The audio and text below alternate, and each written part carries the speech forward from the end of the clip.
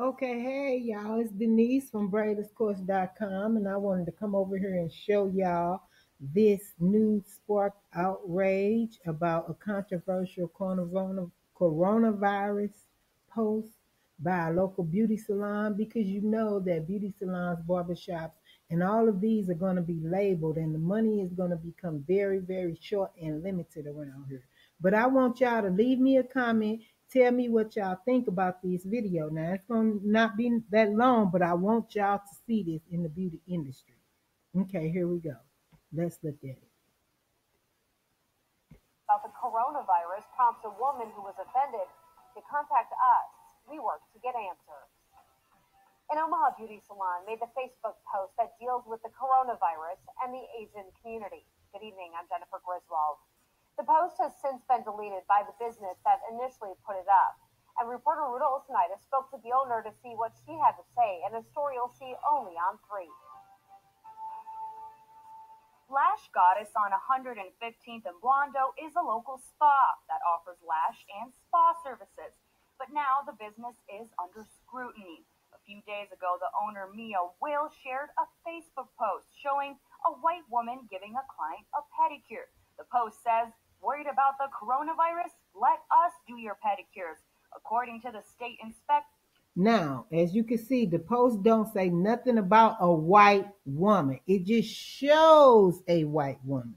Okay, this is why I'm bringing this to the black community so y'all can see the divide that they trying to cause within the nail industry and with us within the Chinese people and what's going on. So I just want y'all to see the post don't say nothing about a white woman. It shows a white woman because guess what? This is a black owned business. Come on, let's come with it. Our spa is very clean. So I think I go back to anytime I was called a name, you know, it brings up that feeling Julia Geringer's parents are from China, and when she saw the post, she couldn't believe it. She takes it as an insult towards the Chinese and Asian communities. It's not okay to think about a whole group of people in that way. The post and entire Facebook page have since been deleted. We went to Lash Goddess on Thursday to see what the owner had to say. I wanted to give you guys a chance to respond, and we can come back later. Yeah, you know, do you have your number? I would love yeah. to chat with Absolutely. But when we stopped by later, owner Mia Will did not want to chat with us. Can I just talk to you for a second? Instead of talking, we stood locked out, even though it was during regular business hours. Standing outside, I gave her a call. Here's why she said she did not want to chat. Oh, you know what? Let me go ahead and just send the statement right over. I am really not a television person. In the statement, she says Due to recent local and national media coverage about the virus, some of our clients have asked us questions about best practices in spa sanitation.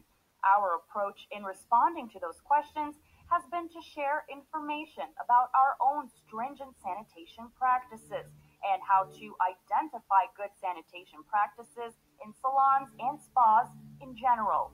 Will also apologized on Instagram via the Lash Goddess account, saying in part, sincerely apologize to our Asian sisters and any other race who took my post as offensive. But for Julia, that's not enough. The kind of apology that says, I'm sorry if you were offended, which is a non apology. It's it's another thing to say, I'm sorry you were offended versus I'm sorry, I was I was offensive. Clinical psychologist Dr. Joseph Stunkos says anxiety in people plays a role in the fear factor when it comes to something like the coronavirus. But not everyone is that way.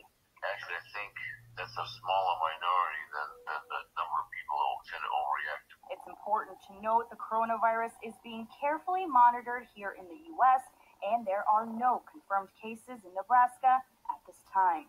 Reporting in Omaha, Ruta Ulsonida, 3 News Now. But it's important also to note that um, you have to have safety and sanitation practices. And people called her, as you can see, and asked her questions about the safety, good, identify good and health safety sanitation practices. So I just wanted to show y'all the quick divide that they were quick to cover amongst races on this new coronavirus. So um, let's move on to the next video that I want to show y'all here, where the the coronavirus is affecting the black girls getting their uh, products, us getting our weaves, us getting anything from very that. seriously in our area. Chanel Wallace knows. Beauty is something that is very important to a lot of people. But this Bowie-based business owner says lately beauty has had to take a back seat to global concerns over health. I just never imagined coronavirus would affect me being in the States and it, you know, not directly as far as being sick, but just like my business. District Chevaux, Wallace's business, relies on hair from China to make extensions and wigs. But she says she's had trouble placing orders for hair overseas with her vendors. Wallace said one order she placed in mid-January still hasn't been delivered. Um, they finally reached back out to me and basically said that due to um, the virus, everyone's, I'm guessing, quarantined and they're not able to go to work. Other businesses gave us similar stories too. But the scarcity of hair on the market isn't the only problem that local hair care businesses and customers face. Wallace said she's noticed some vendors outside of China are now increasing their prices for hair. The price point is just much higher. And then there are the customers who are wary of buying hair from China altogether. Wallace says this is a question that keeps popping up. When they get the hair, is it going to be contaminated? The CDC has not directly commented on how Chinese hair products may be affecting the spread of the coronavirus, but its experts have said there's likely very low risk of spread from products that are shipped over a period of days at ambient temperatures. Leslie? Very low risk. Did y'all hear that? It's likely. He didn't say it is it. He said it's likely it. So let me go over here and show y'all what what we all know for communicable diseases, being that we have uh, practices that are in the public. The nine U.S. corona patients and four who died have ties to the nursing home. Let me million people in the find this thing and cut it off diabetes because I'm pre-diabetes, and many somewhere. report frustration despite their physician's best efforts. Okay. For those struggling with So on her, as you can see, let me get it up here so y'all can see it. This is the nursing home where the virus is spread. And here is how the outbreak may have spread in Washington. Okay, so they was all working at this nursing home. And at this nursing home, now all the workers, all the people in the nursing home, everything, they, they had four people die. They got all the people that's there. But as you can see, they're blaming, I'm gonna show you where they blaming the outbreak on. They're blaming the outbreak on right here. Here, here here's how it happened. Since the coronavi- coronavirus virus can be transmitted through bodily fluids like saliva or mucus, right? People living in close quarters can easily pass the virus to one another. Patients at the Life Care share a dining room, barber shop, beauty salon, library, petting green, and according to the center's website. Okay. So this is what they trying to say because they went to their website. They saying that they could have got the it and when they sit down and eat, they get it when they go into beauty shops and barber shops and and libraries where everybody at. Okay, so this behooves to all beauty shops and barber shops to get the lights out cleaner, clean the doors, clean the everything every five minutes, every time you can. Wash your hands, get you some um not only just wash your hands while you shampooing the client, wash your hands, period. Use um wet uh, hand sanitizer. I know at one point people was banning hand sanitizer, but now, honey, I believe you need to get some because this coronavirus is a form of pneumonia. Okay.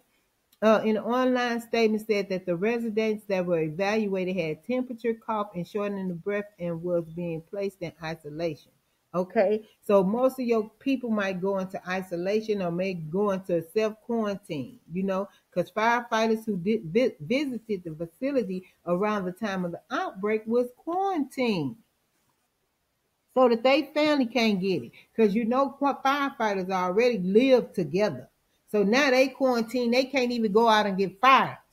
Okay, so you know that if you get in contact with a person that has this stuff, you're gonna need to quarantine yourself from your family, from your job, and everything else. And like I just showed you in the previous video, where it's already shortages on weed, and then it's already argument that if the black people start going to the black girl shop instead of going to the Chinese people for the feet, and the eyes, uh, eyelashes and things, then these other people gonna send out their media to ban that. So I just wanted to get this out to y'all and y'all to see and know what's really going on out here with this coronavirus. Again, my name is Denise Jarrett. I'm with BraidersCourse.com. Uh, you can check me out. I have a whole bunch of videos over there, and I'll talk to y'all later. Bye.